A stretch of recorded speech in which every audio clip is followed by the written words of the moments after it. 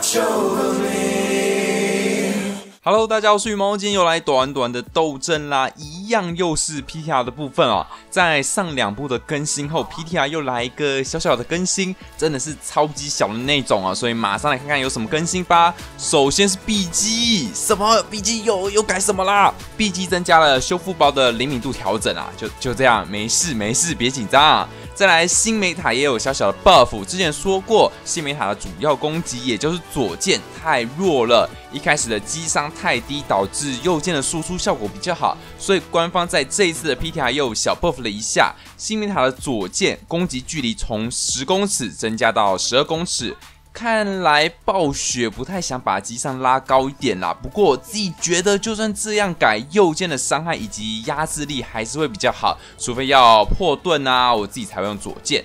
你们觉得呢？毕竟新美塔还需要跟队友有比较好的配合才比较有用啦。好啦，以上就是短短更新啦。上一次的炸弹鼠 bug 也在这一次改掉了，所以想要试的也试不了喽。接下来来讲一下官方正在准备的改动啦。之前有讲到，除了新美塔之外，还有英雄要改动。没有错，就是托比昂。那托比昂有消息了吗？现在进入到哪？目前已经有改动的方向了。官方也有微透露了一点。首先，官方努力改善它过于防守的问题，也就是它在攻击方的用处太低了。攻击方选托比昂基本上都是来搓的啦，但是也不会把它改成在攻击方也可以很好用这样，只是把它改成不要那么搓一点。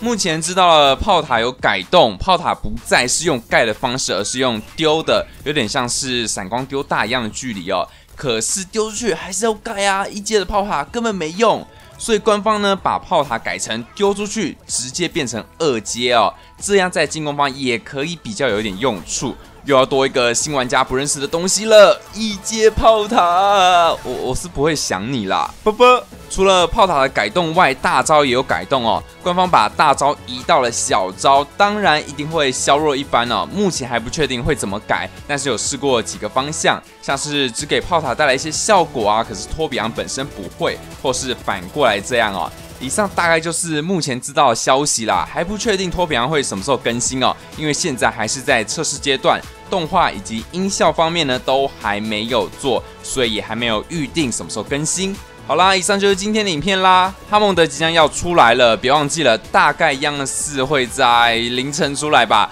想要马上玩仓鼠的，别忘记喽。这次的影片就到这边了。如果喜欢的影片，大家喜欢变放水，给个朋友想去收看的可以点下最下的订阅，怕错主播别人的铃铛牛，我是猫，我们下明天再见喽。